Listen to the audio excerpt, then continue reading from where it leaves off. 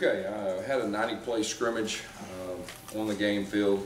Uh, Defense completely dominated the scrimmage. Um, There was no, no touchdowns from the offense. I believe the offense kicked two field goals, the defense had three turnovers, so they flat got after the offense.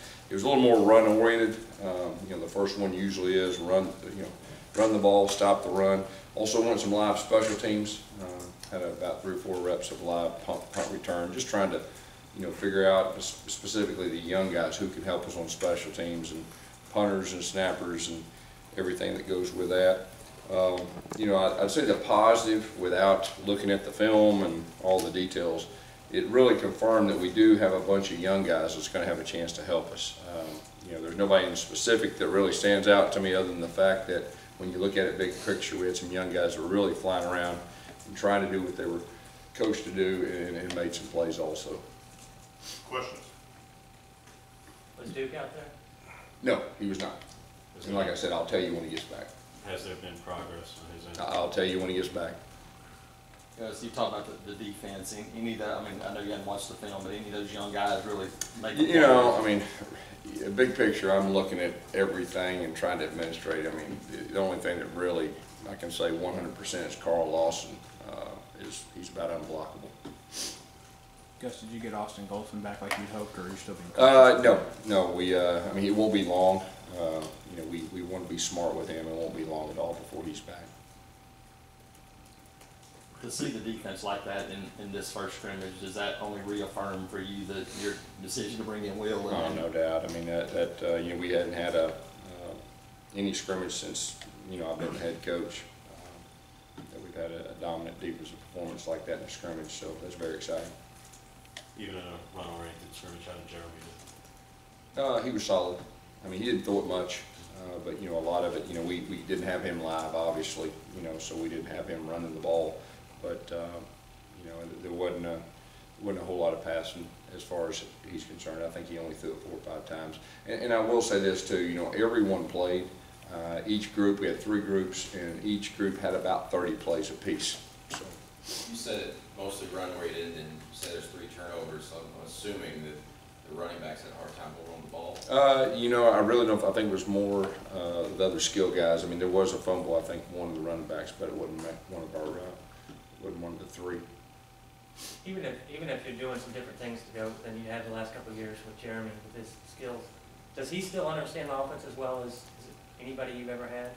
You, you know, I mean, Brad? up to this point, I'd say he's, he's right there in the boat. I mean, he's been with us three years, and like I said before, he's got a lot of reps with the ones and had to prepare, you know, like he was a starter a lot of times the last two years, and he played very well. And so, yeah, I think he's got a very good grasp of the offense. Does that make things go more smoothly? You know, I, I think it, it allows the coaches to, you know, really worry more about the people around him and not have to worry about him so much. I'd say that probably is the biggest thing. As far as scrimmages go, is that the best you've seen from a defense? What's that? Is this the best you've seen from a defense here in scrimmage, even though it's just one scrimmage? Yes. So I guess, I mean, as much as you're saying the offense struggled, does that mean you got maybe a good chance to see what your punters look like, and maybe any separation? Yeah, he got a lot of Okay. punts, there, there's no doubt. Uh, both, both the punters got equal reps. I mean, and we didn't like go live as far as that. We just let them like the spring game. We had the snapper, the punter, and a punt returner on fourth down. And, uh, you know, I mean, it, it wasn't like, I wouldn't say it was, it was bad or I'd have noticed that, but I'm not ready to say it was great. You know, but they got a lot of opportunities to get out there and work on their get-off time and their angles and everything that goes with it. Once we see film, I could give a more specific. Gus, is Kerryon, is he working just as as the, uh, a pure tailback, or is he doing other, other things Yeah, as right, well? right now, we're just trying to give him a good foundation of, of the tailback, uh, position, and we'll see where that goes, you know, after time. You know, as, a- as an offensive guy, when you have a guy like Carl on the other side, how much does that change an offense when you have somebody that, that, that can play at that level? Well, you just gotta know where he's at, you know, there's no doubt about that from an offensive standpoint. He, Byron, he disrupts, I mean, he's a disruptor, and a lot of times, even if he's not making a play, he disrupts stuff for other people. did Byron get to work with the ones at all? Uh, you know, I'm not for sure, uh, I'm not for sure if he did or not, I don't think he did. That- Guys, with- With the uh, offense not doing a whole whole lot today, do you think about doing another scrimmage or a quarter Well, we have another scrimmage on Saturday that we're planned, and uh, we're definitely doing that, and we'll kind of see where we're at after that scrimmage, determine, you know, what we do after that. How important was today's scrimmage for the freshmen? Is this the point where you start? Well, very, very, you know, and we gave them a lot of reps. We gave them a lot of reps on special teams too, but that was by design, so we could properly evaluate them. And like I said, just from a big picture standpoint, watching the scrimmage, there were some guys that you can say, okay, yeah, you know, that, they've got a real chance, they're motor, you know, wanting to play and and everything with that. Yes, speaking of freshmen, is there something that you look forward to say, to tell you, this guy is, is ready to do this or is not? Yeah, you know, usually, um, when you get an 11-11, you put the ball down, you go live, that usually tells you right then. And even if they mess up, you can just tell as a coach, you know, they got a sense for the ball. Uh, You can tell if they're confident, you can tell, are they physical? Uh, Are they mentally ready?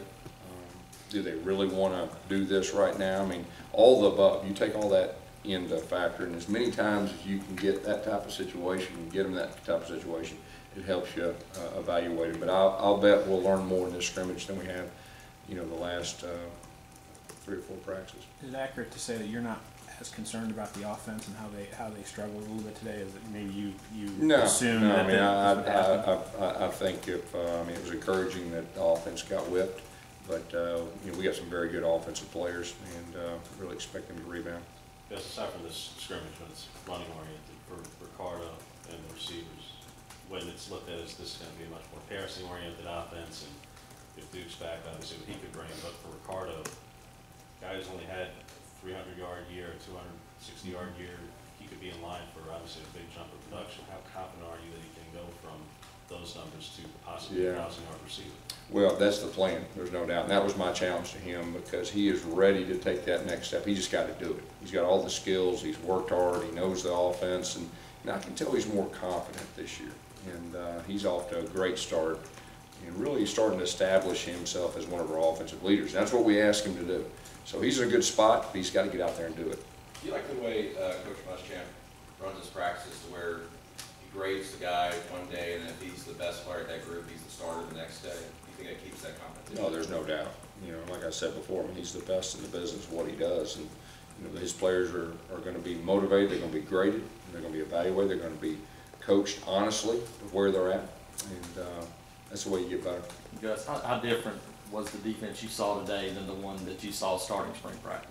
Uh, you know, I thought they've, they've done some good things up to this point, but like I said, until you put the football down, I mean, that's when everything becomes very clear. You know, we've been thud and staying up, and they've been tracking and getting a tackle, but, you know, it was real football today. And, uh, defense did a good job. Guess this might sound like a crazy question, but do you, do you ever sit down with Will and him maybe ask you, you know, you throw the ball more just so our freshman defensive backs who probably getting a lot of playing time, just so they kind of actually are out there and they can experience that live? Well, here's what we do, uh, you know, with Rhett and Will, we have a lot of meetings, and, uh, what, what does each group need? Because it's, it's always different, and so we try to do that. Now, right now, we're in the foundation part, we're putting in our base offense, our base defense, and we're installing. But as it gets going on in fall camp, you know, we'll be a little more specific, and we wanted, we want to give both sides what they need. So I visit with, with both those guys, uh, you know, on a daily basis. The uh, second day of pads is pretty quick to have a, a full scrimmage. Uh, Do you think that's an advantage for defense over offense? Uh, you know, I, I don't, I mean, um, it- it's just the same, I mean, it's just the same, especially when you run the football. You know, we, we've had some inside periods, you know, every time we went shells or a full pad, so, uh, bottom line is, the defense whipped the offense today.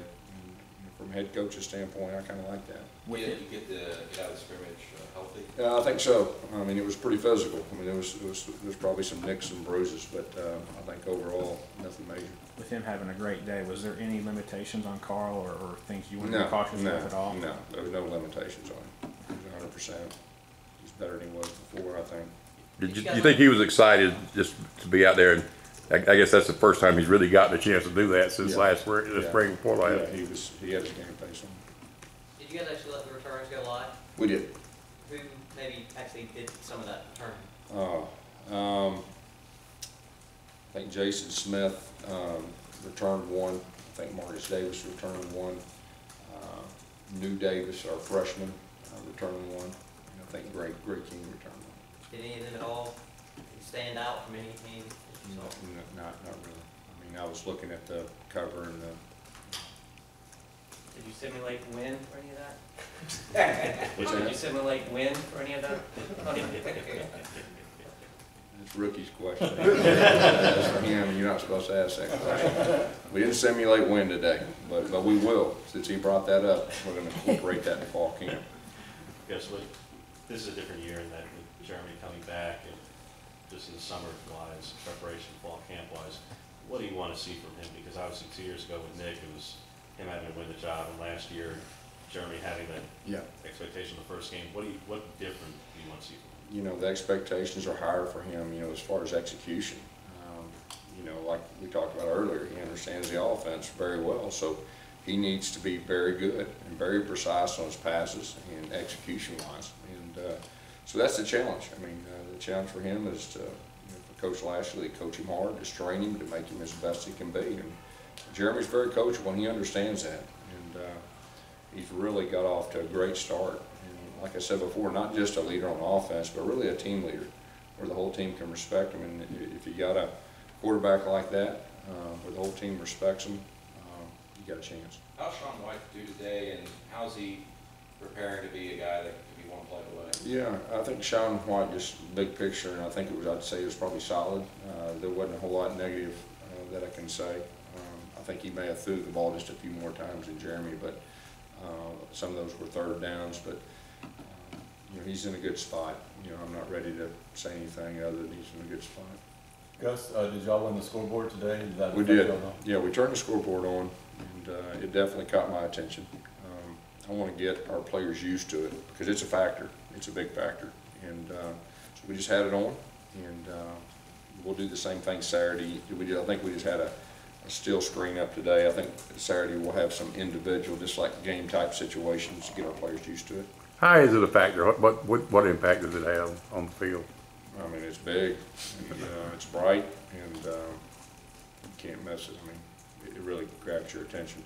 How much, Joking, joking aside with the, with the win, but for kicking game, for the kicker, specifically on kickoffs and field goals, it might actually have an impact. Do you think Daniel will probably do a little bit more in the stadium before the season starts, just to have an? Yeah, I mean, we'll probably go in there a good, good four times before our first game, not just for Daniel, but for our punters, uh, and our returners. um, You know, just to get you, and, and right now, you know, some days we kick with the wind, some days we kick against the wind. And, uh, we'll do the same thing in the stadium. for your, you mentioned the young guys that could possibly help you, but how big of an impact is it that they're in the stadium? I know nobody's Yeah. there, but is that a Well, we, we talked about that today before we went there. It's different. We're going to our stadium and, uh, the expectations, we're raising our level. The older guys really kind of prepped our young guys and just, uh, you know, what we expect out of those guys. And, uh, I said, big picture, I think we got quite a few young guys that can help. And that was probably the, that was one of the encouraging things. Anything else? All right, so